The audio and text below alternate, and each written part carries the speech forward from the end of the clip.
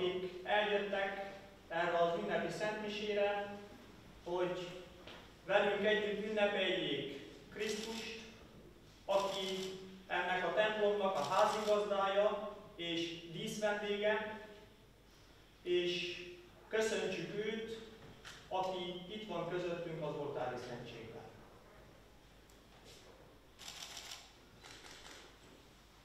Templom szentelésre, megáldásra, ünnepélyes avatásra jöttünk össze, amikor a híres katalán építész Gaudit szemrehányásra illették, hogy sokáig épül a temploma, azt válaszolta, amíg épül a templom, addig él a nemzet.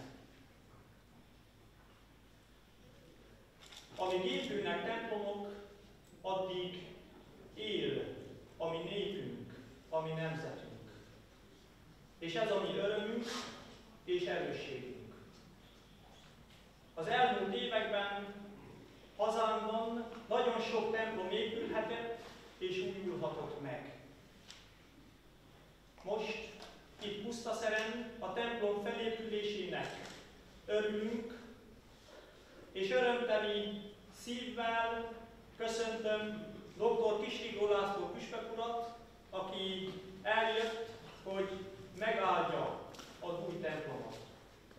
Köszöntöm Kovács József általános helynök a jelenlévő paptestvéreket és papnövendégeket, Tisztelettel köszöntöm Farkas Sándor államtitkár urat, Magyarország kormánya részéről, térségünk országgyűlési képviselőjét, Köszöntöm Csongrád Csanád megye és Kistelekjárás településeinek előjáróit, Tisztelettel köszöntöm a templom tervezőjét, Germán Gézát és kedves feleségét, és a kivitelező jelenlévő képviselőit, Köszöntöm az Egyházmegye pályázati és műszaki osztályának munkatársait, a rendvédelmi szervek képviselőit, intézményvezetőket, meghívott vendégeinket, puszta szerközség lakóit és minden kedves megjelentet. Isten hozta mindannyiunkat.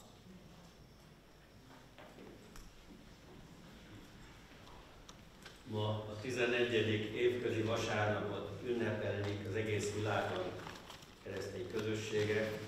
Itt Pusztaszeren egy rendkívüli alkalomra jöttünk ma össze, bár már a elmúlt hetekben a helyi közösség tagjai összejöttek vasárnaponként szentmisére, mégis mostani mai alkalommal kérjük Isten áldását ünnepélyesen erre az új templomra, de természetesen még sokkal inkább nem a templomra, hanem a közösségre, amely szolgálatára építettük ezt a templomot. Köszöntöm én is a pusztaszerieket és a vendégeket, különösen azokat, és egyúttal hálát, köszönetet mondok mindazoknak, akik bármilyen módon hozzájárultak, hogy ez a templom most ilyen állapotba kerülve átadásra kerülhessen. Köszönjük a magyar kormánynak, aki a forrás biztosította, polgármester úrnak, aki a szándékot elindította és komolyan megfogalmazta, együtt továbbítjuk már jó néhány évvel ezelőtt. Köszönöm a tervező, a tervező, a kivitelező, a kivitelezésben segítkezők, bármilyen módon a templomhoz hozzájárulók munkáját, segítségét, támogatását, adományait, imádságát, művészekét, akik még szebben, szebbé tették a, az épületet, és mindenkit, aki bármilyen módon hozzájárul. A templom felszentelése gyakorlatilag az, hogy elkezdjük használni. Krisztus közösségének egy része használja, és az ő áldozatát bemutatja, ez már megtörtént. Most mégis ünnepélyesen kérjük Isten áldását. Ez viszont kérném a könyvet,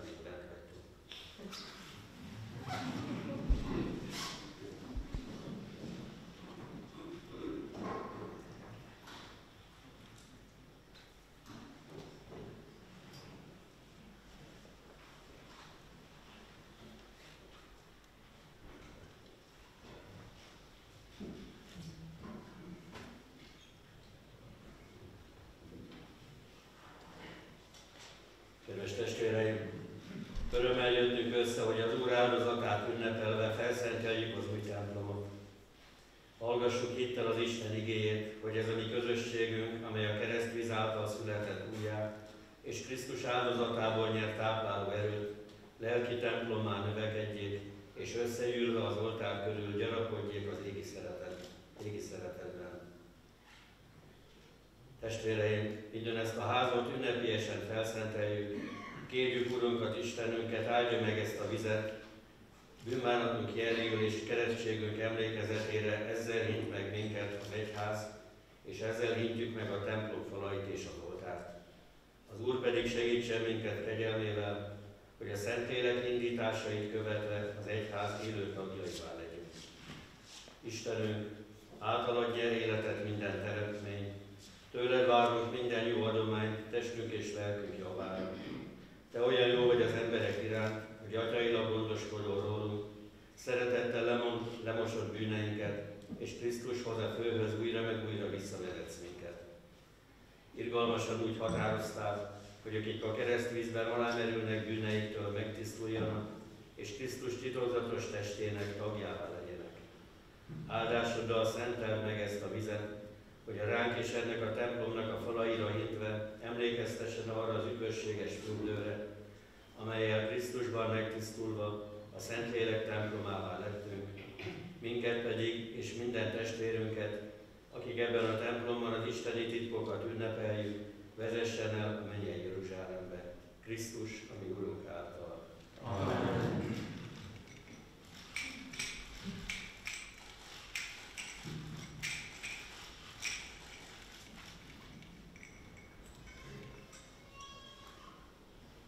creatures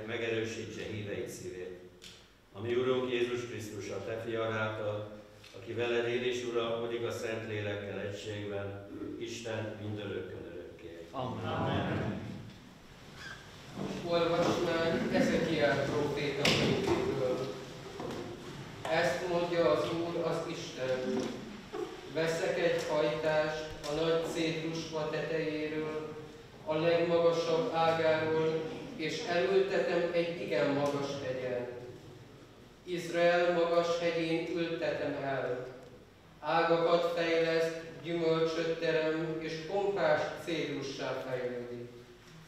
Alatt alapít majd mindenféle madár, és ágai árnyékában pihen meg mindenfajta szárnyas. és akkor megtudja majd a mező minden fája, hogy én az Úr aláztam meg a magas fát, és emeltem föl az alacsony fát, én szállítottam ki a zöldelő fát, és én borítottam virágba a száraz fát. Én az Úr mondtam ezt, és végbe is viszem.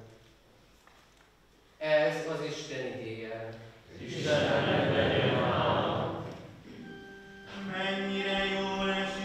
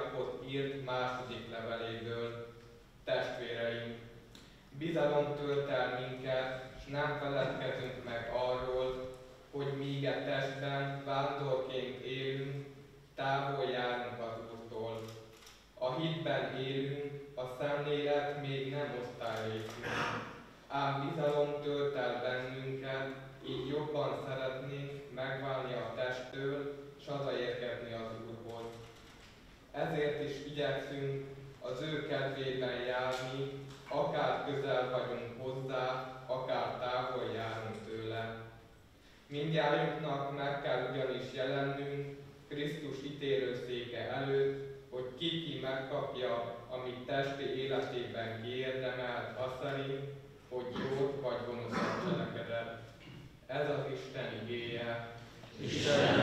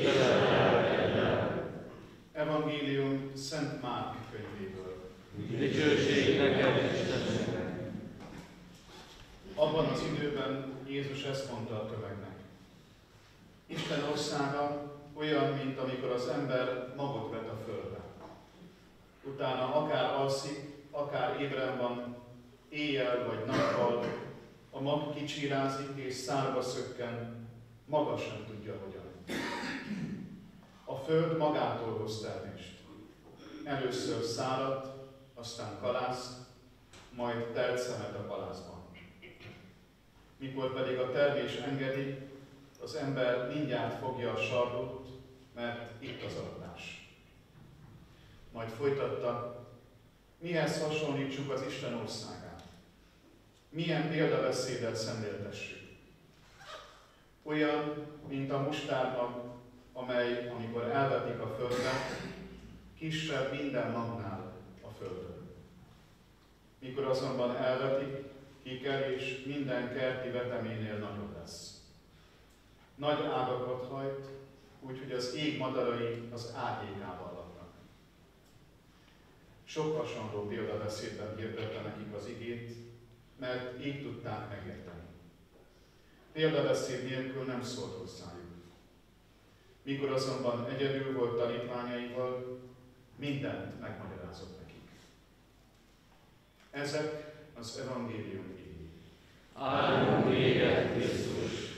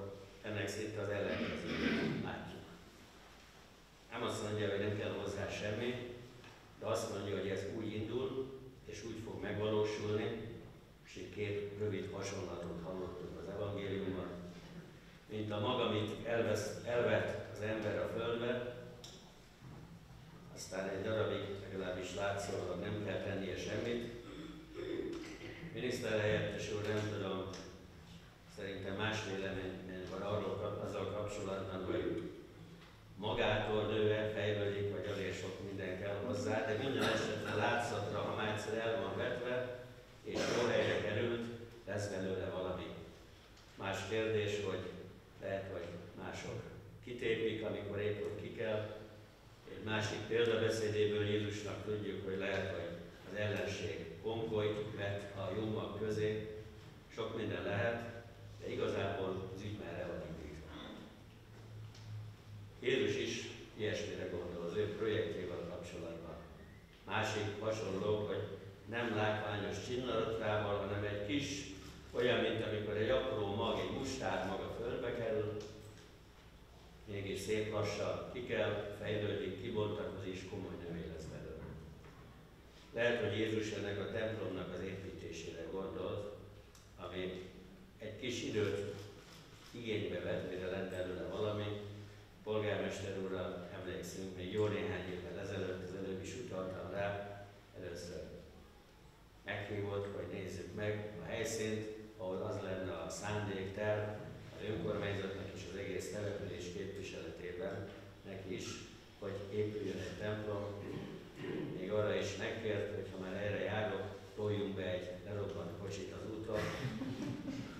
És szép lassan, ennek már polgármester úr jobban tudja hány éve volt, hat éve, hat.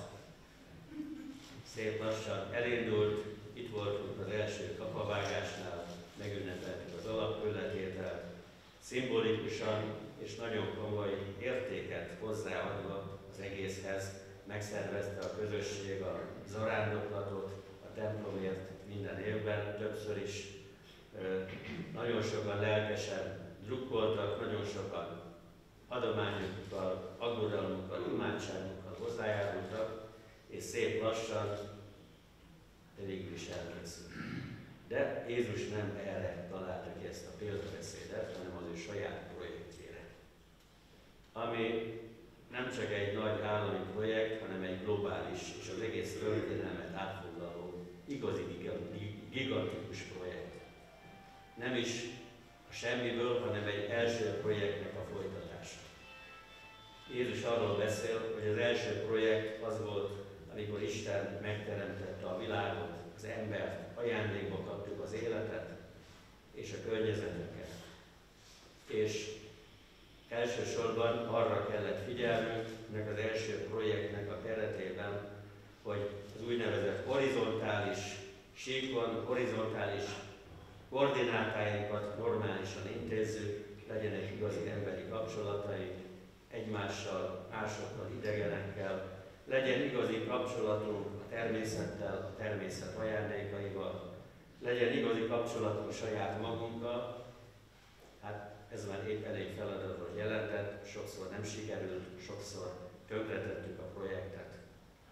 De Jézus azért jött, és az ő megfogalmazásában az ő érkezésének a célja, hogy egy második folytatásos projektet hirdessen meg, amit sejtettünk, hogy lesz, nélküle is, hogy tudnélik az ember nem csak horizontális koordinátákkal között él vagy síkon, hanem van egy vertikális is. A Teremtővel, az Istennel is kapcsolatok lehetne, de hogyan? És ő az, amikor azt mondja, hogy meghirdette az Isten országát, akkor meghirdette ezt a projekt második részét egyetemesen mindenki számára. Hogy tudnélik valóban Isten nem bújócskát játszik, hanem megszólítja az embert. Az életnek van egy vertikális síkja is, vagy koordinátája, ha tetszik.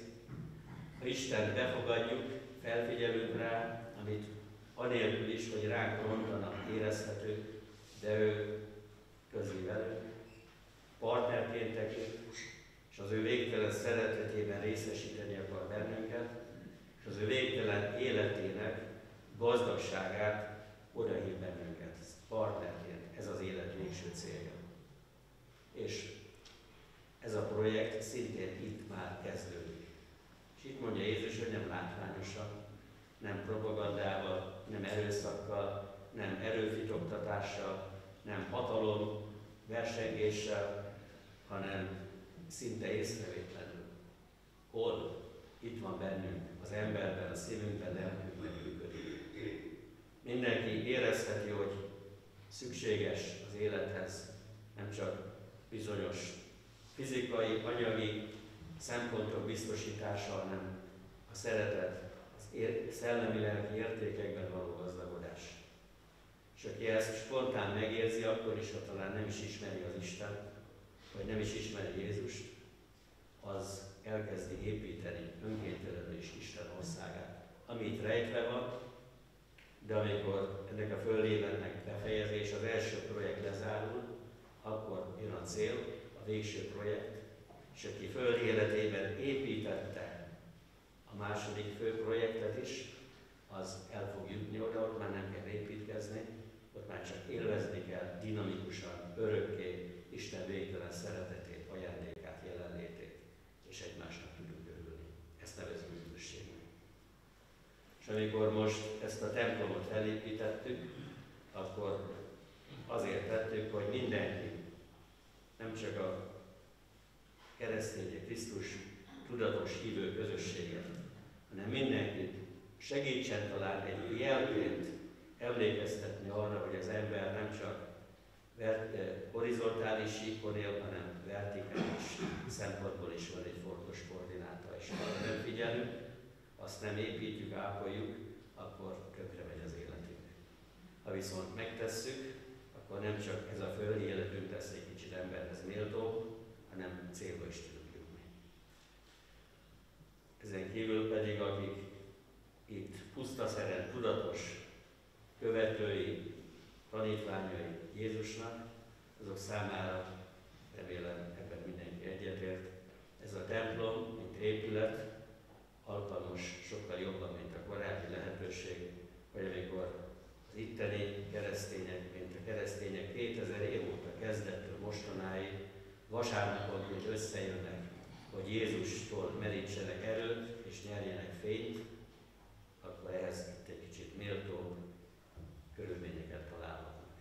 Gratulálok a településnek, a hívő embereknek és a nem hívőknek egyaránt, és kívánom, hogy mindannyiuk, mindannyiunk javát szolgálja ez a templom. Hiszek az egy Istenben, minden alkalommal, mennek és földnek települőjében, és Jézus teremtőjében, hiszek a Te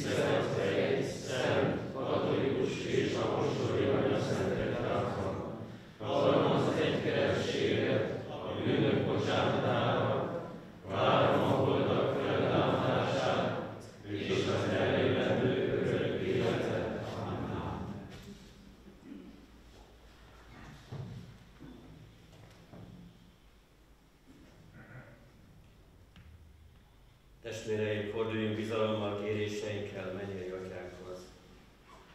Add, Urunk, hogy szent néped Ferenc pápa vezetésével mindenben teljesítse akaratodat.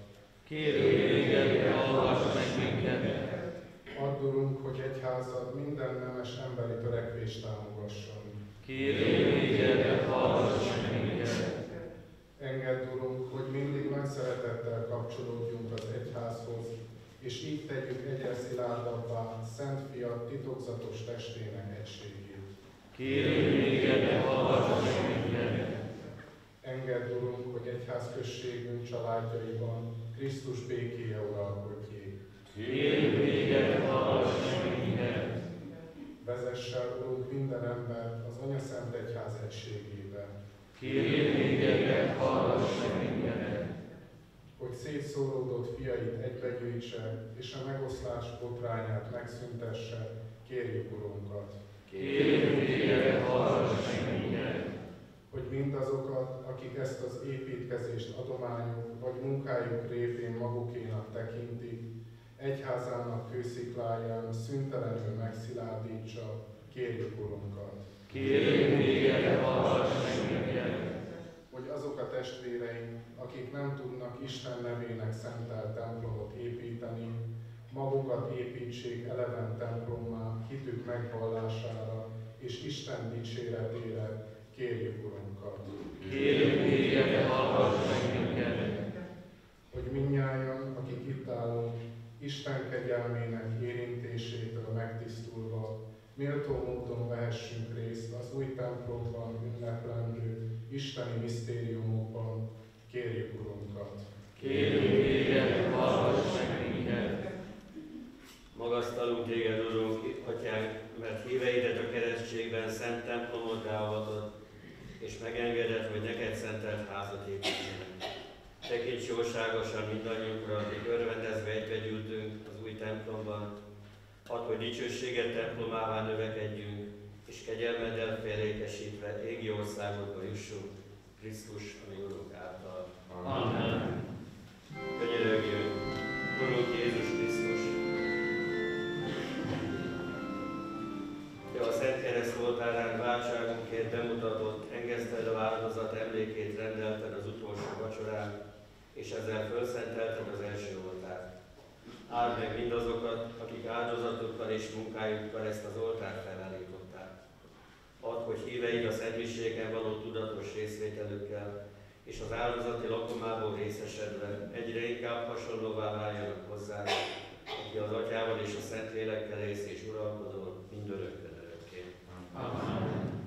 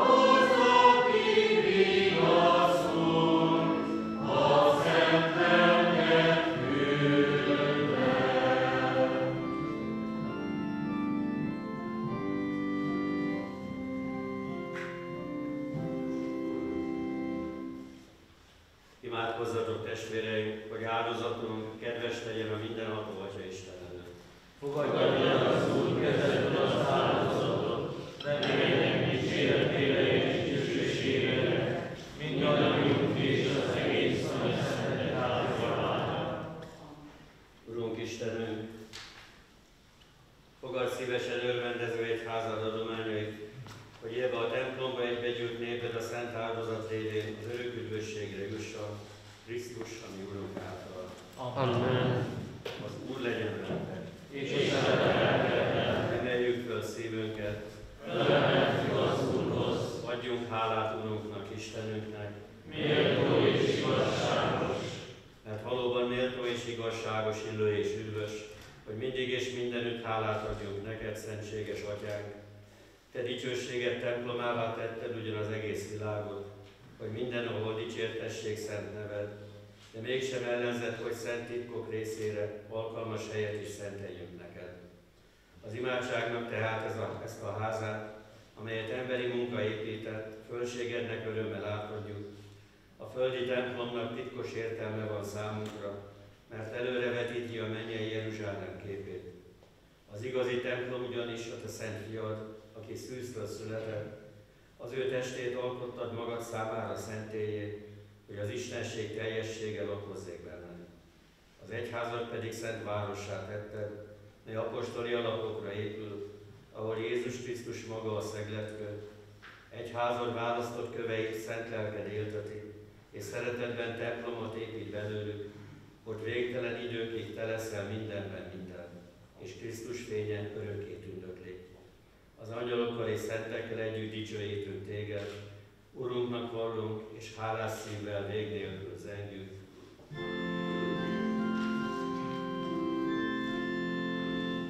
Valóban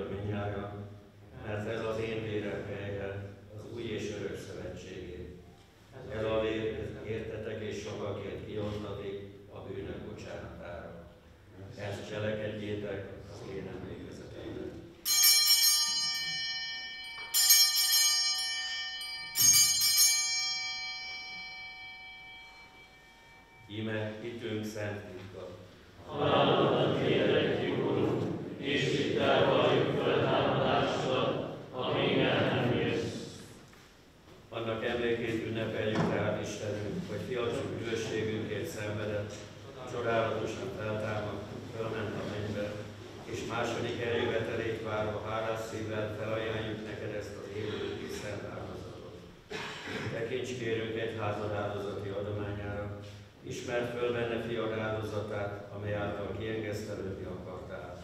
Add, hogy mi, akik az ő testét és vérét magunkhoz vesszük, szent lelkével elterve egy test és egy lélek legyünk Krisztusban. Ő tegyen minket neked szentelt örök áldozattá, hogy elnyerhessük az örökséget választottaiddal, elsősorban Isten anyjával, a boldogságos Szűz Máriával, Szent Józseffel az ő jegyesével, Szent apostolaiddal, a dicsőséges vértanúkkal, Szent Gellértel és minden szenttel együtt. Az ő közben járásukban bízva reméljük, hogy mindenkor megsegítesz minket. Kérünk Istenünk, hogy engesztelő áldozatunk hozzon az egész világnak békét és üdvösséget. Erősítsd meg hitben és szeretetben földi zarándok útját járó egyházadat, szolgádat Ferenc pápánkat és László püspökünket, a püspökök testületét, a papságot és egész megváltott népedet. Teljesítskedésen házad népe kéréseit, hiszen Te akartad, hogy színed elé álljunk. Jóságos Atyám, vond magadhoz irgalmasan a világon szétszórodott valamennyi gyermekedet. Elhűnt testvéreinket pedig és mindazokat, akik a Te kegyelmedben költöztek el ebből a világból, fogadd be jóságosan országodba, ahol reményünk szerint dicsőségedben velük együtt mi is örökre gazdagon részesülünk Krisztus Urunk által, mert általa árasztod el minden jóval a világot. Ő általa, ő vele és ő benne,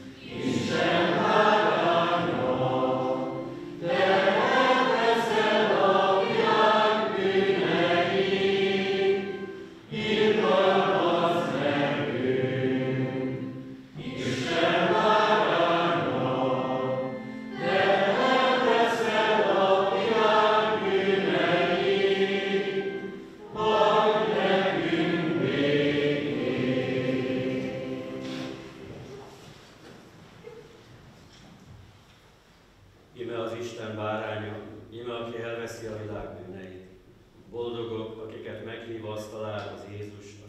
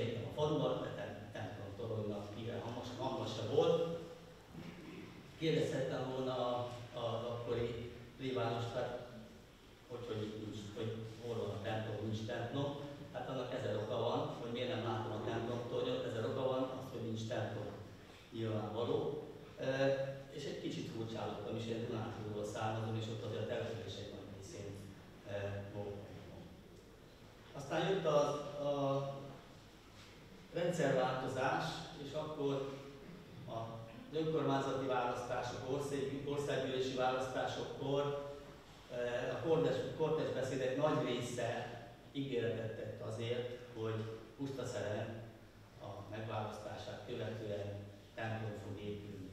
Hát elmúlt az idő, és eh, nem épült templom Pusztaszeren, még hosszú ideig. Míg nem, én is eldöntöttem, hogy akkor megpróbálok erre a útra lépni, hát ha tudok ezért a faluért tenni valamit. És ahogy Püspök úr is már említette, én nem ígértem templomot a településnek, azt ígértem, hogy tisztességgel és becsülettel fogom végezni a munkámat, szolgálni fogom a falu érdekeit, és hogyha ennek eredménye lesz egy templom, akkor azért is meg fogunk harcolni. Körülbelül 2010-ben jött el az idő arra, hogy Püspök úrral, ahogy már is említette, le tudtunk ülni, és meg tudtuk beszélni, hogy Pusztaszer népe már régóta vágyik egy templomra. És akkor nagy örömmel Püspök úr bólogatott, és azt mondta, hogy lesz templom Pusztaszer. Hát örültem neki, nagyon, de hát időpontokról még akkor nem beszéltünk. De már én is elkezdtem gondolkodni, legyen.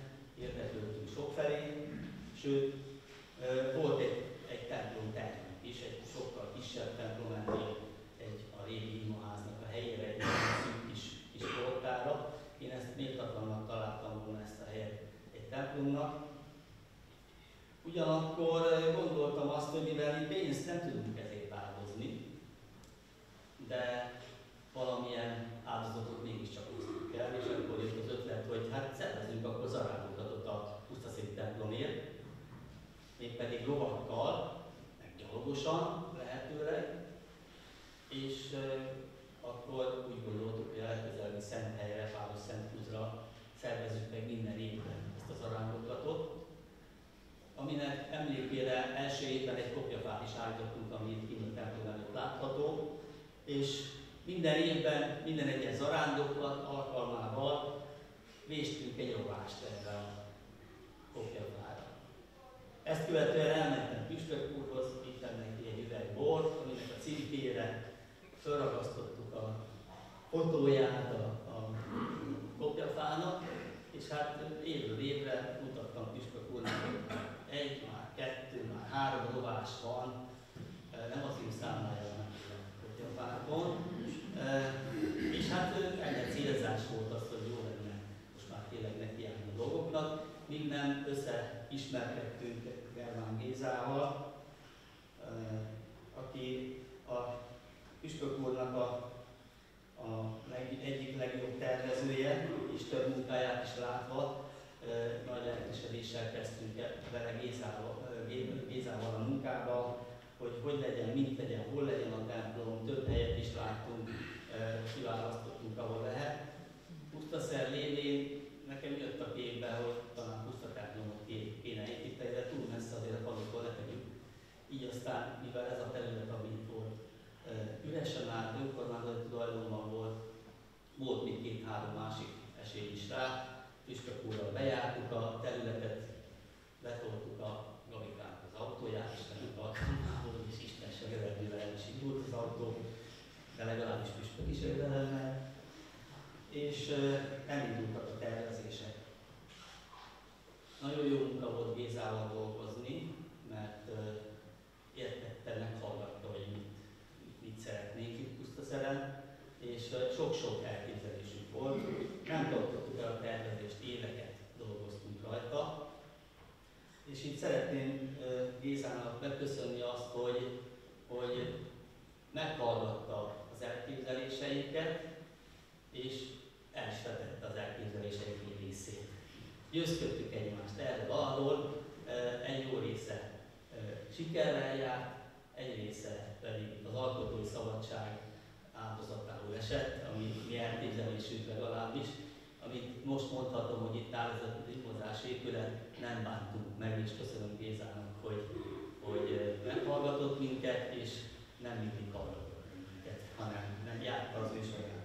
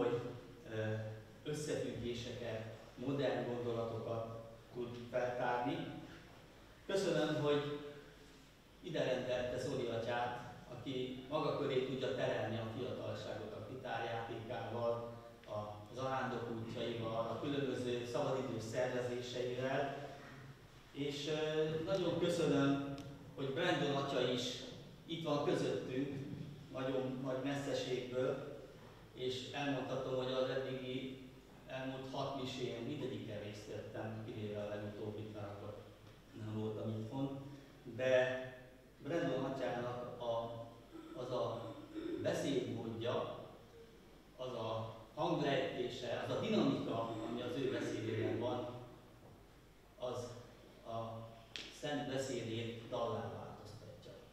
És ezt köszönöm nektek, köszönöm a fiatal papjainknak, papjainknak, hogy így viszik a hátukon ezt az értékrendet és a falu sorsát. Kívánom azt, hogy a későbbiekben olyan látogatottsága legyen ennek a templomnak, mint amennyi az elmúlt néhány hétben volt. Megtöbbszöröződött a látogatók száma, de azt mondhatom, hogy ez a helység végre, még végre egy olyan ö, méltó hely, ahova tényleg érdemes jönni, és olyan méltó apjaink vannak, akiket érdemes hallgatni. Köszönöm még egyszer, és mindenkinek további jó ítéletet kívánok. Köszönöm, hogy meghallgattak. Köszönjük szépen polgármester úr szavait. Próbálok felébredni, nem visszaélni a türelmükkel, hogy máskor is eljöjjenek. Polgármester úr néhány nevet megemlített, és most egy apró kis ajándékkal szimbolikusan szeretnénk néhány embernek kifejezni hálánkat és köszönetünket, hogy ajándékba kaphattuk Isten népének házát. Itt, ezen a csodálatos helyen, a pusztában, a csenden. Mindenek előtt Püspök úrnak köszönjük a jó indulatát, kedvességét. Ha jól számolom, akkor pontosan egy hét múlva lesz 15 esztendeje annak, hogy 16. Benedek pápa kinevezte Szeged Csanádi püspökké, lassan nagykorúvá válik az egyházmegyében. 2010-ben egy templom szentelésen találkoztunk, és akkor nevezett ki engem Baksi plébánossá. Az volt az első ünnepélyes templom szentelés, amin én részt vettem, és azután még nagyon sok templom épült, Új Szent Ivánon, Békés Sámsoron, Nagylakon, Tarkoson, Derekegyházon, és most itt Pusztaszeren, ha jól számolom. Köszönjük szépen Püspök úrnak a templom építő szolgálatát, és mindazt, amit ezekért a kis közösségekért tesz, hogy Isten népe az egyház ezer részén is méltó helyen gyakorolhassa vallását és találkozhasson az Istennel. Köszönjük szépen!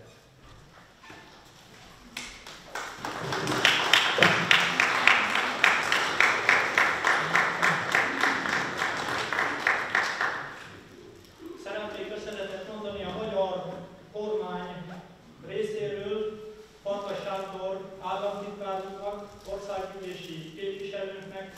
Köszönjük az ő mindenkori támogatását is, és tisztelettel kérjük, hogy tolmácsolja hálánkat és köszönetünket a magyar kormány vezetői részére.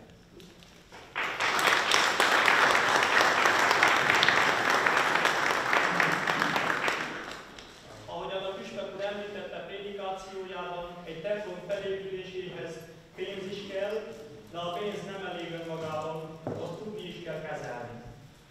És hála Istennek a Szeged Csanádi Egyházmegye pályázati munkatársai nagyon jól kezelik ezeket a pénzeket, úgyhogy szeretnék köszönetet mondani az Egyházmegye pályázati vezetőjének, Strémi Zsuzsannának, akinek hálásan köszönjük támogatását.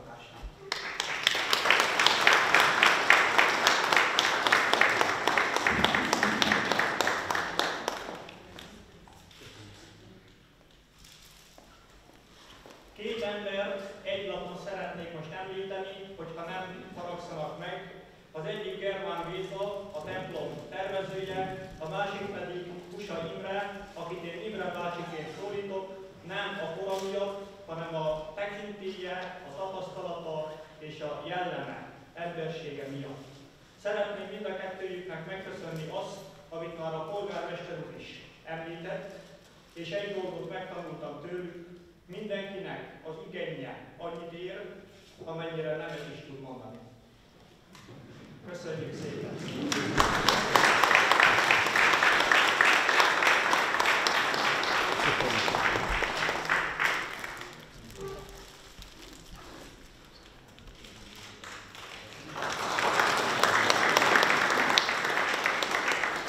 A kivitelező részéről szeretnék köszönetet mondani Tóth Istvánnak, a építő cég vezetőjének. Bizonyára sokszor hallott az elmúlt évek során, hogy mikor lesz már kész, mikor lehet már ünnepélyesen átadni, stb.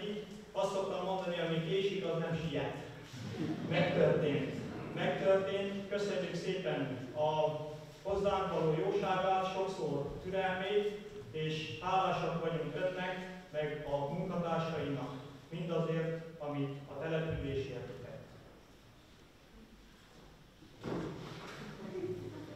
Elfogyott?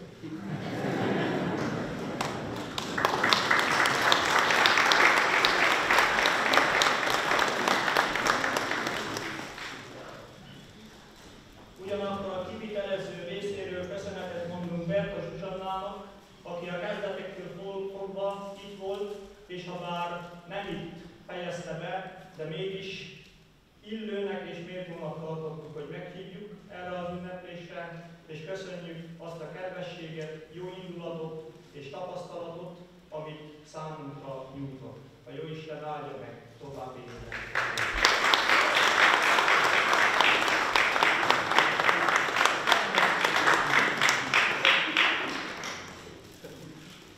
Végül, de nem utolsó sorban megköszönöm Máté Gábor polgármester úrnak, ha bár nagyon szép szavakat mondott itt rólunk, ha fele már az is jó, de köszönöm neki mindazt, amit a templom építés érdekében tett, itt a településen.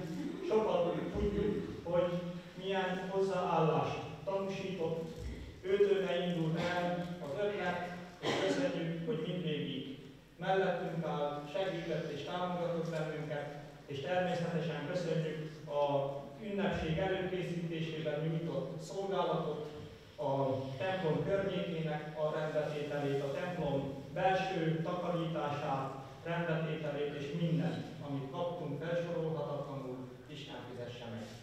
Most nekem kell oldalni, igaz?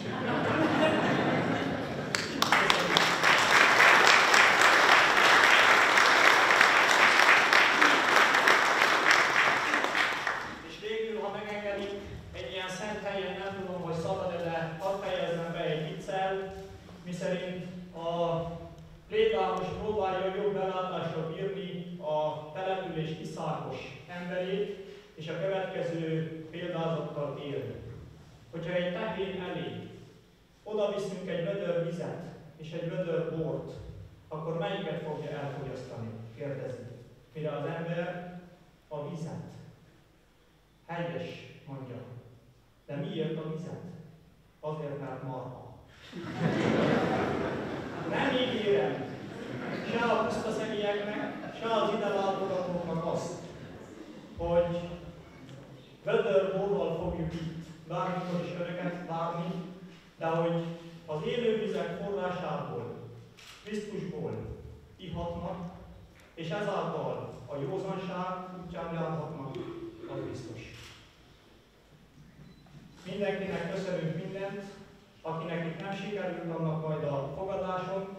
Köszönjük, hogy eljöttek, szép estét kívánunk mindannyiunknak.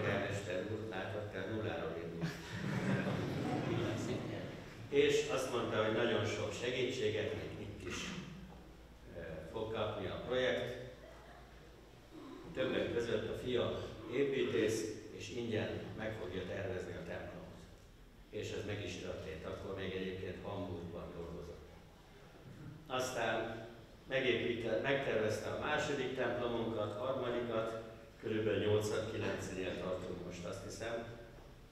Ugye mindegyiket te tervezte. Köszönjük szépen. Nem csak ökológiai, nagyon komoly pneumatológiai lábnyomot hagyott, hagyott az egyház megyében. A harmadik pedig polgármester úr, ő maga önvallomásként adta elő, hogy a templom építése közben milyen komoly felfedezésre jutott a saját egyéni életével kapcsolatban. Polgármester úr nagyon fiatal ember vagy, még kívánom, hogy ennél nagyobb okos felfedezéseket még tudják tenni a saját életetre vonatkozóan, drukkolunk és örülni fogunk neki. Most pedig fogadjuk mindannyian Isten áldását. Elsősorban azokra kérjük Isten áldását, akiknek a neve elhangzott, lehet, hogy nem is hangzott el, akik bármilyen módon hozzájárultak ehhez a templomhoz és az egész településre, akik itt vannak és akik nincsenek itt, hogy Isten ereje, fénye vezesse. Az Úr legyen veletek! Isten veletek! Áldjon meg titeket a mindenható és jóságos Isten, és töltse el szíveteket üdvöt adó bölcsességgel. Amen. Táplálja lelketeket hitünk igazságaival, és tegyen álmodatossá titeket a jó cselekedetekben. Amen. Irányítsa lépteiteket önmaga felé, és mutassa meg nektek a békesség és a szeretet útját. Amen. És áldjon meg benneteket a mindenható Isten, az Atya, a Fiú és a Szentlélek. Amen. Menjetek békességben és szolgáljátok Isten szeretetben. Isten veletek!